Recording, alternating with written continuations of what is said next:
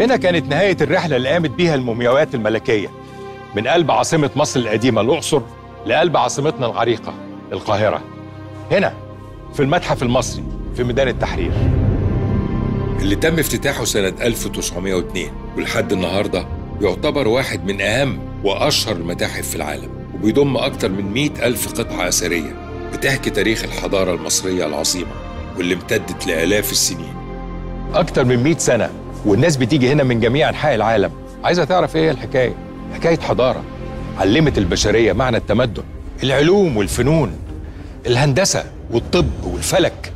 قدمت البشرية أول نموذج حي لدولة قوية أساسها العلم والإيمان.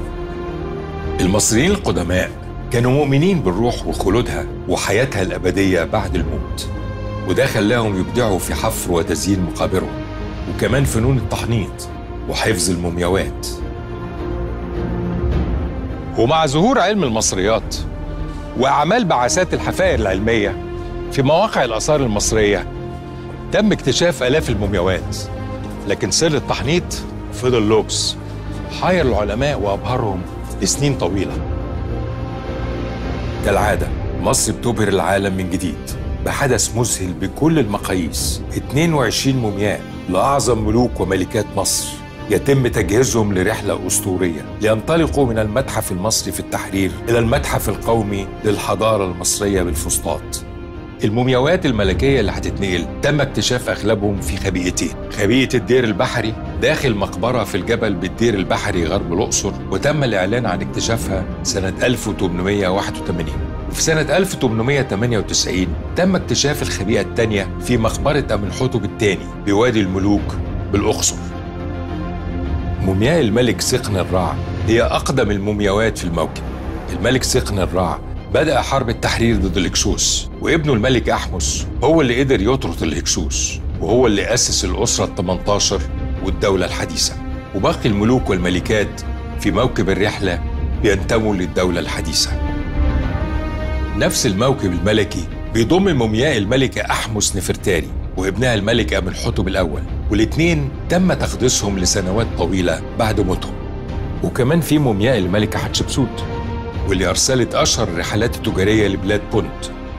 وهي صاحبة المعبد الشهير بالدير البحري بالأقصر واللي بيعتبر معجزة معمارية بمعنى الكلمة.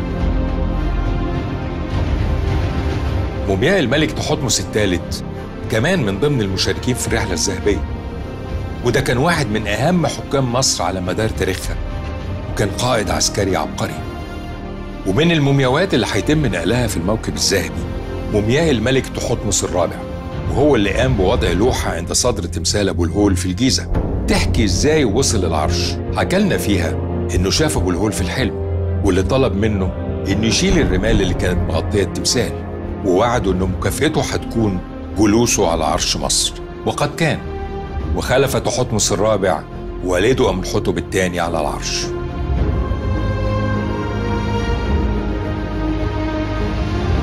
ومن ضمن المومياوات الملكية في رحلتنا الأسطورية مومياوات الملك أمنحتب الثالث وزوجته تي. الملك المشهور بآثاره العظيمة واللي حافظ على استقرار ورخاء البلاد طول فترة حكمه. وزوجته الملكة تي هي اللي أنجبت له الملك الشهير أمنحتب الرابع والمعروف باسم إخناتون ويضم الموكب أيضا مومياء الملك سيتي الأول اللي اشتهر بمقبرته المنحوتة في الجبل. وهي من أجمل المقابر في وادي الملوك ونقوش معبد سيتي الأول في أبيدوس واللي بتعتبر من أجمل ما أبدع الفنان في عصر الدولة الحديثة. ومن أشهر المومياوات اللي هيتم نقلها مومياء رمسيس الثاني ملك مصر العظيم اللي حكم مصر حوالي 67 سنة بعد والده سيتي الأول.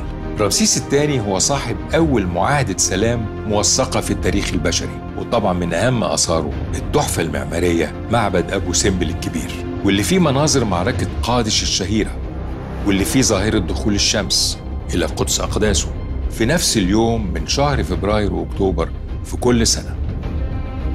ومومياء الملك رمسيس الثالث وهو تاني ملوك الأسرة العشرين واشتهر بأنه كان من أعظم الملوك وقدر يحمي مصر من غزو شعوب البحر وهو اللي بنى معبد مدينة هابو في غرب الأقصر. واللي بيعتبر من أجمل المعابد المصرية وكمان من أكتر المعابد المكتملة. المتحف المصري النهاردة هيفضل في مكانه الأيقوني مفتوح للزوار من جميع أنحاء العالم عشان يستمتعوا بعظمته وجمال مقتنياته. وفي الوقت اللي المومياوات الملكية بتشق طريقها في شوارع القاهرة العريقة في متحف تاني مجهز بأحدث الأجهزة والتقنيات التكنولوجية لعرض مومياوات ملوكنا وملكاتنا بالشكل اللي يليق بتاريخهم وبحضارتهم.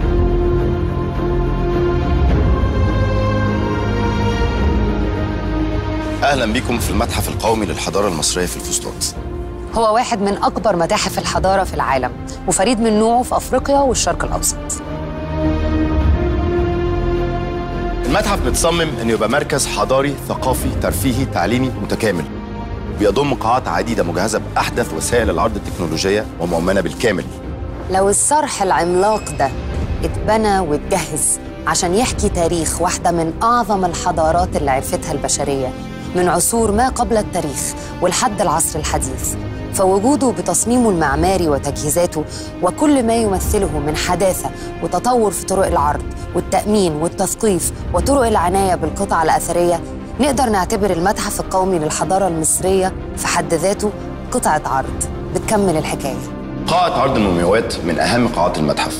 القاعه مصممة ان الزائر يحس كأنه واقف في وادي الملوك بالاقصر بالظبط. وهنا هيتم عرضهم بالطريقة اللي بتحفظهم وتحفظ مكانتهم الملكية وحرمتهم. وزي ما حرص أجدادنا على تحنيط المومياوات الملكية بإتقان شديد إحنا هنستمر في الحفاظ عليهم. وهيتم عرضهم في المتحف القومي للحضارة المصرية بطريقة مبهرة. تليق بيهم وتعرف في الأجيال الجديدة عظمة بلدنا وسر خلود آثار جدودنا. حكاية حضارة بدأت على نهر النيل من آلاف السنين.